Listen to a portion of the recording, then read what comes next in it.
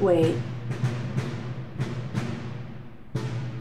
One, two, three, four, five, six, seven, eight, nine. mm, No.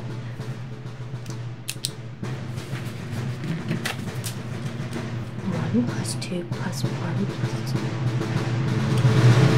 I'm pregnant. Oh god, this can't be happening.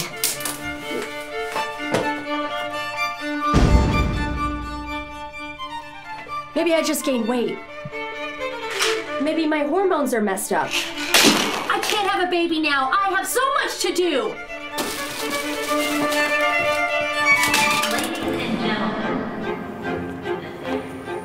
I can't believe that I got promoted to CEO and found $500.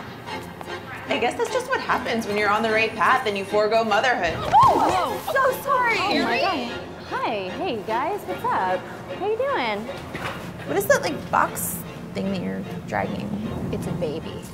Speak up, we can't hear you. It's a baby. Huh? I have a baby now. Yeah, I got pregnant last May and I chose to because we live in Amer- America, not France. It's harder for me to Okay, you know what?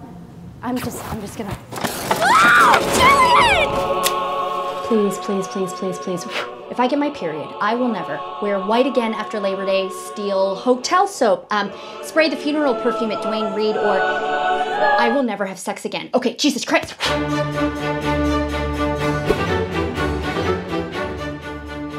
Hey, Jared, so I have to buy Plan B. You want to split? No. Hey, Jason, I gotta buy Plan B. Do you want to split it with me? You're religious. Sigh.